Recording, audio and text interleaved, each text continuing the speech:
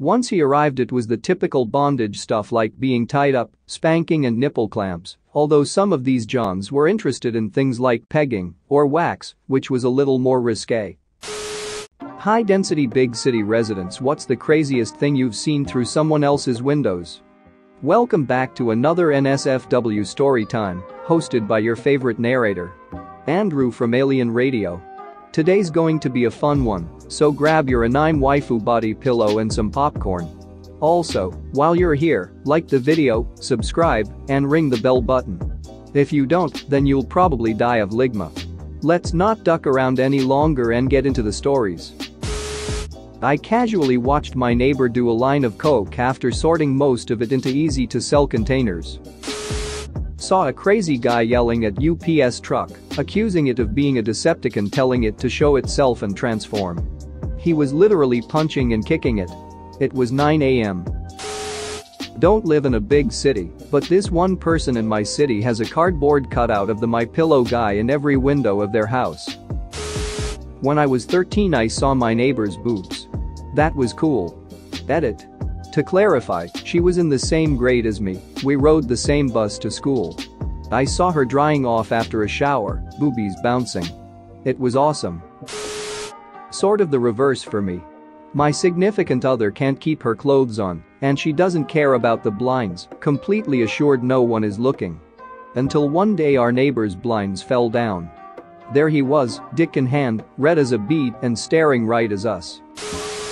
I once saw a person in full Spider-Man costume just watching TV in their apartment, mask and all. Like all night long. This continued each night for all three nights I was in the city. It made me believe that Spider-Man is real, but that he doesn't really have much to do besides watch TV. I live in downtown Toronto, and I've seen two people ducking out of a window. As in, the dude was inside, the girl's front half was out the window, and they were going at it. It was pretty ducking funny. Not exactly windows, but there is a guy who sunbathes across from our office. 20-something stories up on his porch in the nude. Every now and then in the summer the call will go out, naked guy is out again. We will all take a quick look to confirm, yep, he still doesn't know we can see him. The office has tinted windows, from outside they look opaque. I lived in a big city and made friends with a few guys who lived across the alley from me. They were out drinking on the deck one night when I got home, and they invited me over. So we're drinking and I need to take a piss. Walk back to the bathroom and glance out the window to see a fire on a deck.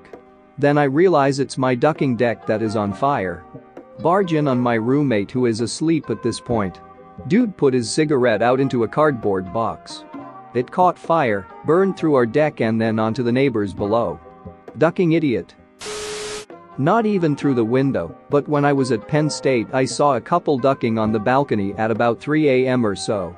That probably doesn't count though, because college.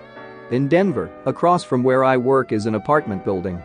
It is well known throughout my office that there is a man one floor down that spends roughly 4 hours every day playing Destiny 2 while in his underwear recently saw him playing Sekiro naked, and people were more interested in his game change than they were in his lack of whitey-tighties. He didn't seem to enjoy it much because he was back on Destiny within the hour according to my coworker. I was smoking on a balcony with some friends when we saw something moving in someone's window. It was someone's living room and some kid, maybe 4 years old, had his arms out airplane style. He was spinning around the room so goddamn hard he kept popping in and out of view and genuinely lasted longer than anyone expected. I don't know how, but he must have been going for a full 5 minutes, bouncing off his couch every so often. By the end we were cheering him on. When I was in college, our dorms were basically high-rise apartments. One night I was looking out the window, contemplating life, when I saw a man and woman having sex in a building across the street like perfect view of everything. Their bed was directly in front of the window. I called my roommates over and we kinda just watched for a minute, then we opened our window and started cheering them on. The guy glanced over, grinned and kept going. We were basically watching live porn. Right after college I lived in a communal housing situation outside of Nick. We all had our own bedrooms living areas, but shared a cooking space. About 15 to 20 people lived there at any given time, depending on who was sleeping with what. Most of us were in our 20s, give or take a few strange ducks. One morning about 3 or 4 am I woke up to the sound of running. Loud running. So I crawl out of bed and look into the hall. Next thing I know there are five guys sprinting down the hall in their boxers, socks and high freaking heels. Not just little kitten heels full-blown stripper heels that I couldn't walk in. Apparently one of the guys had found an ass load of shoes in a spare closet in their size and completely sober, I'm told, decided to practice relays with some of his neighbors. Personally I just closed my door and locked it behind me. That was a strange few years. I used to live in an apartment building in the East Village in New York. I was on the back of the building, which faced two other buildings essentially forming a square behind my building. We used to call this space the shaft. Across the shaft from me there was a girl around my age at the time, 20-something who would never wear clothes. And she kept her curtains open all the time. I'd wake up and look out the window facing the shaft and see her cooking an omelette, fully naked. Sometimes before bed she'd do stretches in her room naked. In the morning she'd get dressed for work with the blinds fully open. I swear I saw her boobs more frequently than my girlfriend's.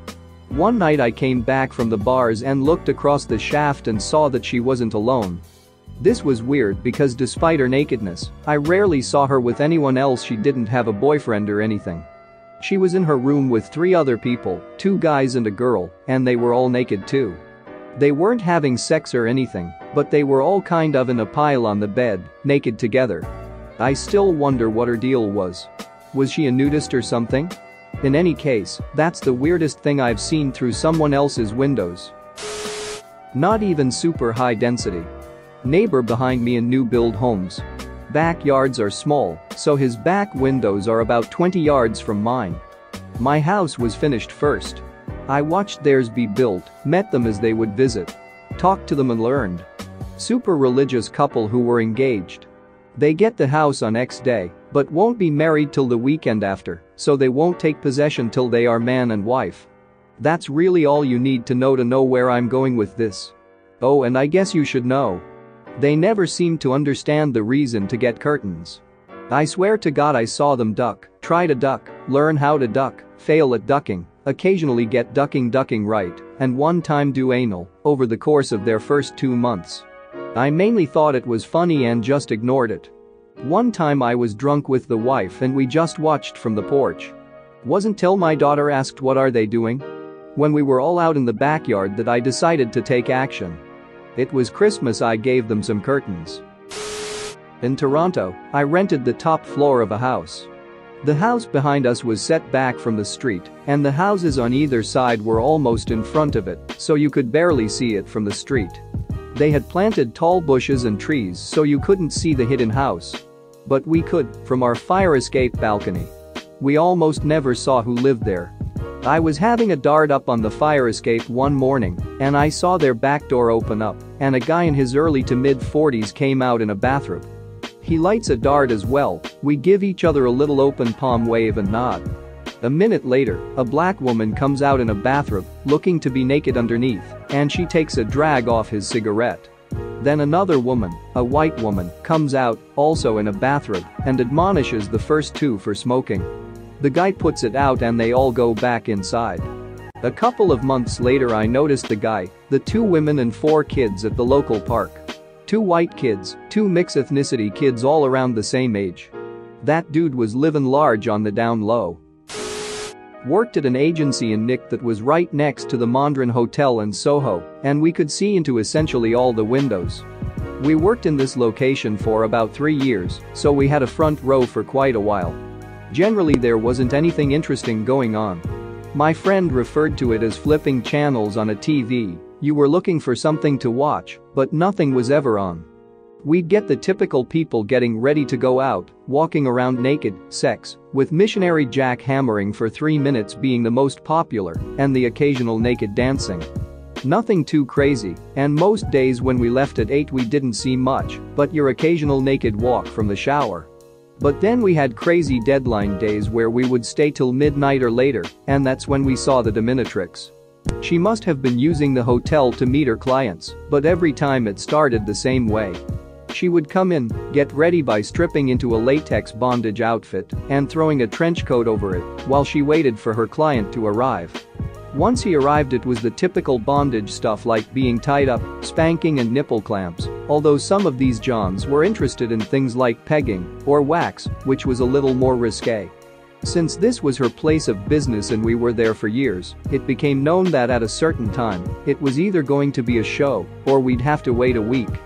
Weirdest night though had to be when she had a couple as her client. Basically the wife just watched as she humiliated him, he licked her boots, she dog walked him, nothing too crazy just now there was a viewing partner.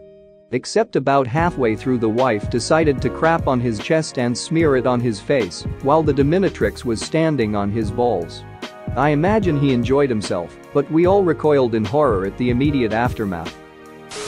Like and subscribe for more funny, interesting, and scary r slash ask Reddit videos.